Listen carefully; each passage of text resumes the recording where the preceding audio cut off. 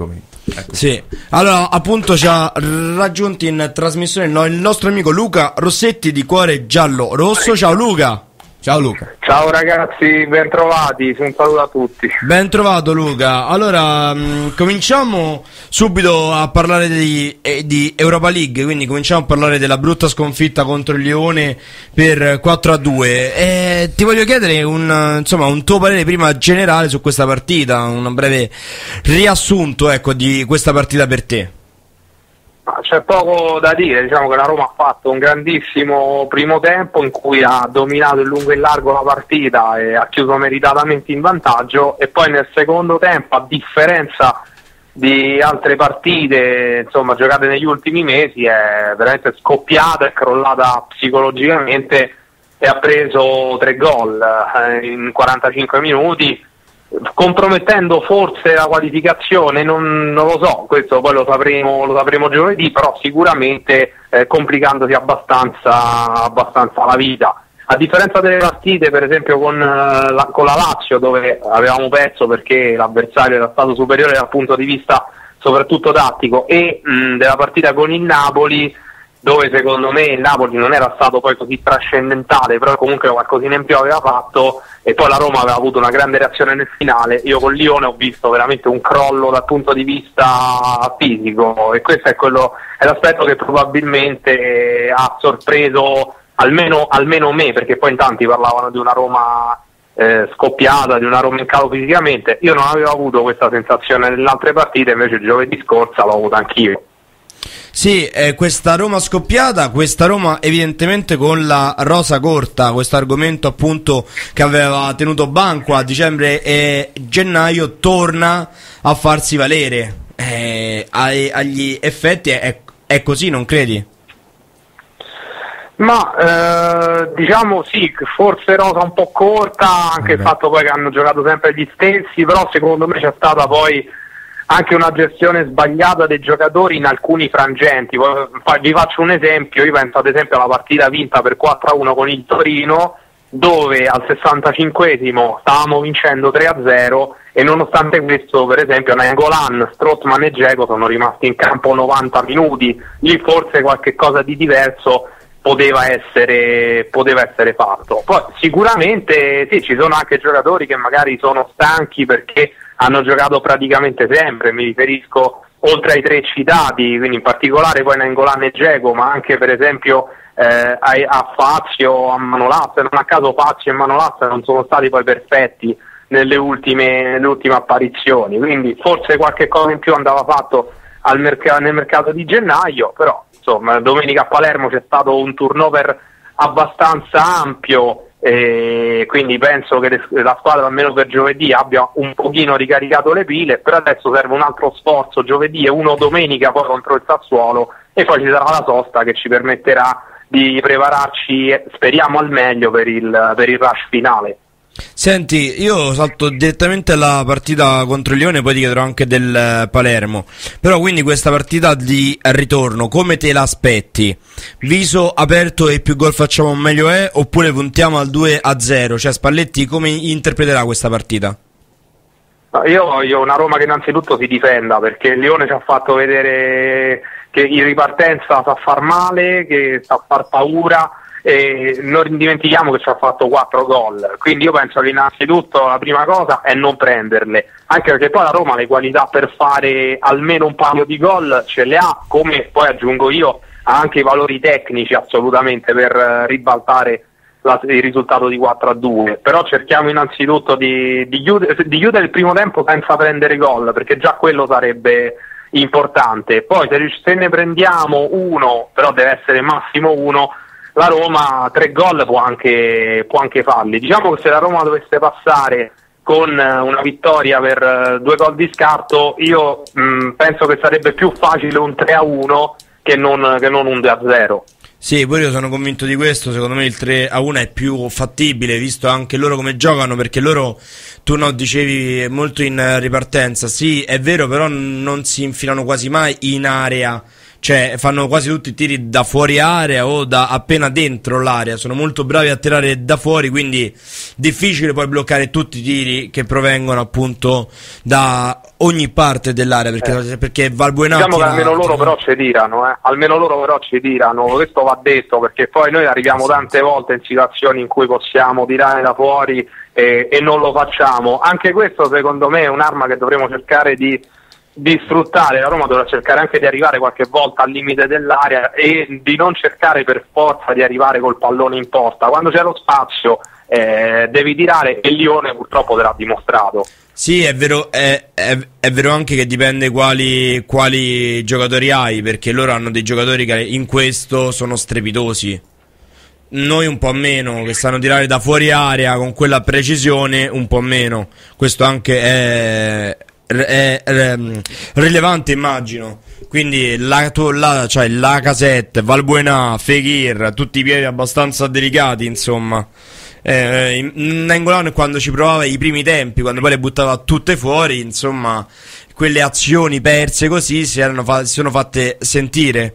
Io spero che Geco comunque riprenda a tirare da fuori e anche Salah, perché Salah ha un ottimo tiragiro che sappiamo ha fatto più volte su- sorridere questa, questa, Roma e le altre squadre in cui è stato. Quindi su questo sono, sono d'accordo con te. E ti dico anche se ti, ti, chiedo se la formazione, insomma, che sembrerebbe essere schierata, quindi con la difesa a 4, ti piace?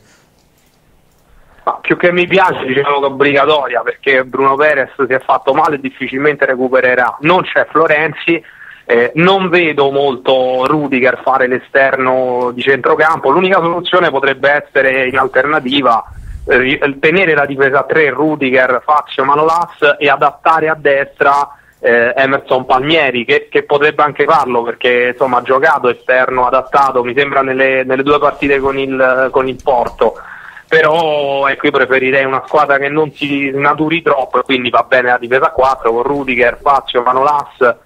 E poi da vedere se eh, Palmieri o Juan Jesus perché se giocasse con Juan Jesus poi sarebbe la stessa difesa che ha giocato a Milano con l'Inter e eventualmente Emerson Palmieri ala oppure Emerson Palmieri terzino e del Sharawi ala, quindi le due soluzioni sono queste. Per il resto la formazione credo che sia praticamente fatta, quindi poi De Rossi e Strottman in mezzo al campo, eh, Salah e Nainggolan sicuri del posto in avanti così come, così come Geco. Diciamo che è sicuro, credo che giocherà Emerson Palmieri, bisognerà vedere se l'altro esterno di sinistra sarà o Juan Jesus eh, o il Sharawi a seconda poi di dove Palmieri verrà, verrà messo. Però mh, credo che sia la formazione migliore per, per, giocare questa, per, giocare questa, partita. Poi ripeto, Matteo, come ho detto anche prima, la Roma eh, i valori tecnici per, per, passare il turno ce li ha. È una questione soprattutto di atteggiamento, di testa e credo poi anche fisica a questo punto. Quindi se la Roma avrà recuperato bene le energie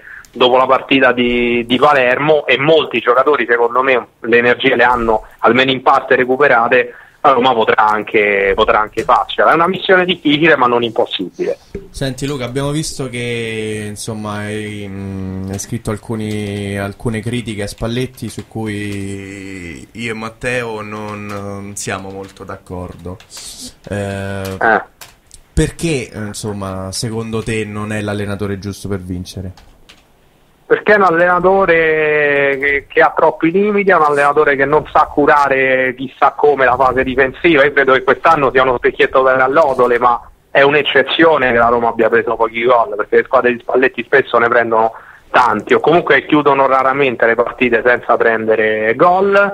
È un allenatore che spesso in partite importanti e decisive eh, inventa mosse strampalate o fa cambi quantomeno discutibili per cui per me è un allenatore che può far giocare bene una squadra, che tatticamente è anche bravo, però io credo che per vincere servano allenatori di altro tipo, senza contare che io lo ritengo troppo uno yes man, cioè un allenatore che si fa andare bene in sostanza qualsiasi cosa poi decida la società, soprattutto in sede di mercato. Non a caso, insomma, avrete anche letto, io, io preferisco un allenatore meno bravo dal punto di vista tattico come potrebbe essere un Allegri o un Mancini con cui però so che possa avere l'ambizione di vincere perché un, sono allenatori che quando vengono vanno in, in, una squadra ti dicono sì io vengo però mi devi prendere i giocatori che dico io. Cioè, se viene, eh, se viene uno fra Allegri e Mancini di cui si è parlato, cioè se Mancini sa o Allegri sa che deve allenare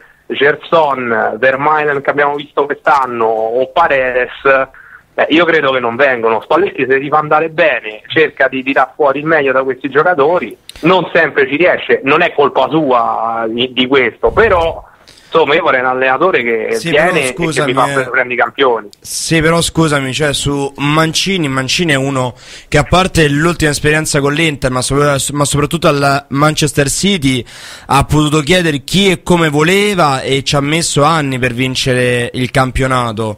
Quindi voglio dire, ora prendere Mancini che oltretutto neanche ti fa giocare bene la squadra.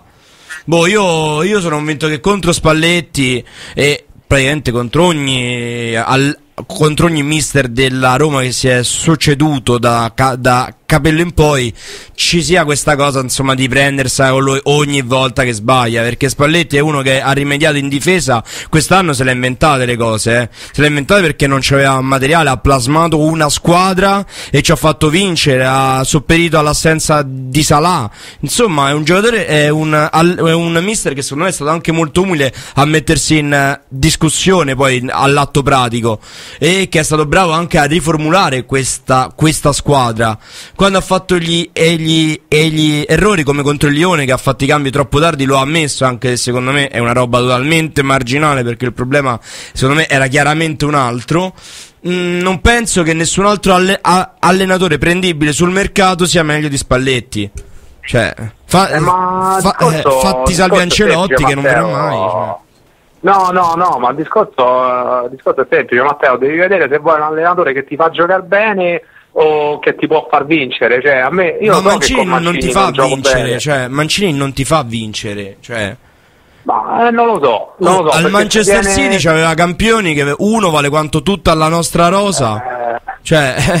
Eh, ho capito, però voglio dire, c'è cioè, un allenatore che comunque se viene qua ti impone con la società e se no se la società non gli prende i giocatori che dice lui non viene. Cioè io preferisco un allenatore che faccia così perché almeno vuol dire che ha eh, un'ambizione che non si, non si accontenta, è una questione di priorità, è una questione di ambizioni. Se non interessa giocare bene e arrivare al massimo secondi o se si tratta di vincere accontentarci della Coppa Italia o della Supercoppa, Spalletti va benissimo. Se vogliamo vincere il campionato, secondo me no.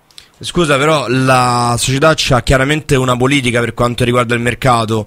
C'ha una politica di pareggio di bilancio. Non è che possiamo far venire qua chissà chi a chiedere, che ne so, Yaya Tureo, David Silva o Sanchez. Eh, cioè, secondo me invece Spalletti si adatta molto bene con con quello che ha. E lui ha avanzato delle pretese. Secondo me con l'arrivo del nuovo DS che sia Monche o meno sarà anche, sarà anche meglio.